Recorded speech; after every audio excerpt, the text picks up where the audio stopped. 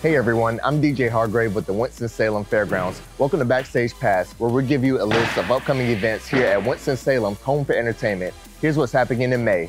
First, we have the annual Shepherd Center book sale at the Education Building on May 5th, 6th, and 7th. The Shepherd Center collects used books all year for this annual book sale fundraiser. The event hours are 9 a.m. to 9 p.m. on May 5th and 6th, and from 8 a.m. to 2 p.m. on May 7th.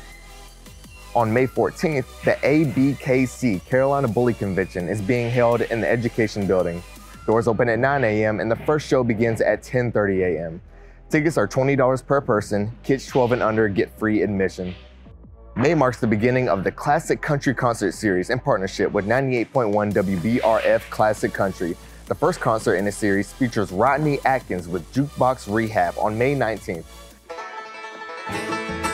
On May 20th, we welcome Grammy Award winner Ricky Skaggs at the Annex Theater. These shows kick off our indoor concert series with shows every month through late August. This series includes Charlie Wilson, Aaron Tippin, Wynonna Judd, and more. Visit WSFairgrounds.com to get your tickets today. Have you ever imagined owning your favorite classic arcade game in your storefront or home? You have the chance at our last event in May, the auction game sales being held in the Education Building on May 21st. At every sale, they average 750 items for auction, giving you the chance to choose from the largest and best selection of quality arcade equipment in the triad. For more information on admission, event hours, and parking, visit WSFairgrounds.com. That's all for this month. I'm DJ Hargrave with the Winston-Salem Fairgrounds. We'll see you on the next edition of Backstage Pass.